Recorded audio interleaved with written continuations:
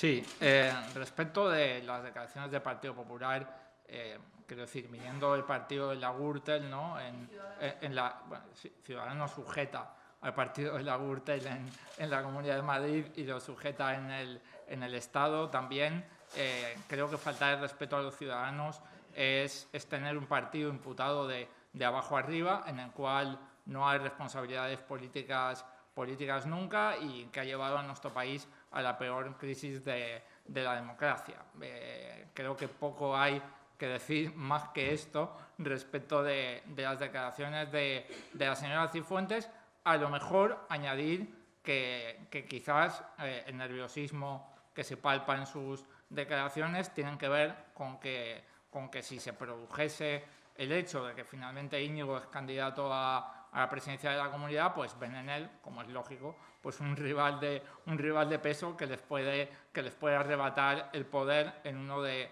de sus últimos, de sus últimos feudos. Eh, esto, evidentemente, no lo hemos debatido en la Ejecutiva porque no compete a la Ejecutiva tomar estas decisiones, la,